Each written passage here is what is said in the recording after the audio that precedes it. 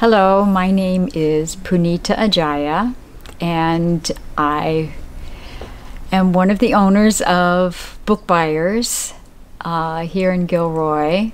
I became part of um, this bookstore because my husband and my interest in books for many years we've collected books of um, that are good quality. And we started when our before our children were born collecting picture books that had quality and could be enjoyed by adults as well as children because of their message and their artwork.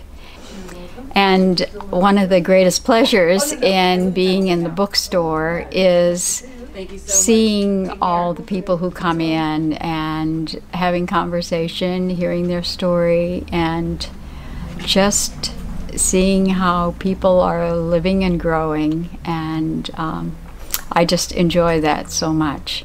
Hello, I'm Hotranata Ajaya. I've uh, lived in California for most of my life, not all of it. My children were born here, but we've uh, been in the book business now since 1970, 1990, sorry, and uh, almost 30 years now.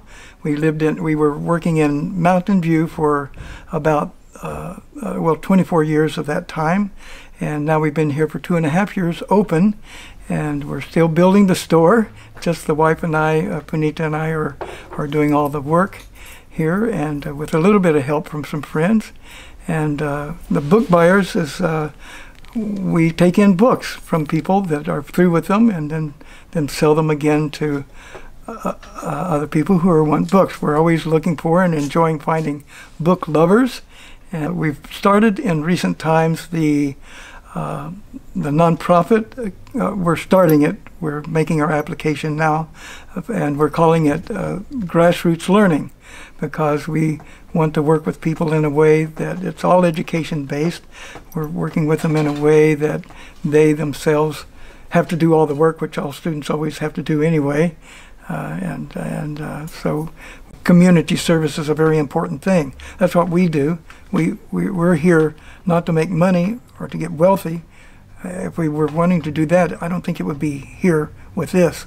But uh, we want to we want to see beautiful community uh, things come out of it, and that really help the people and help the community as a whole to upgrade itself in whatever ways it wants to do that.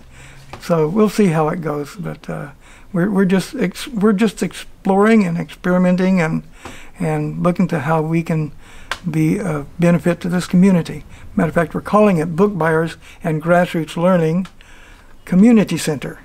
So that's where we're heading with it.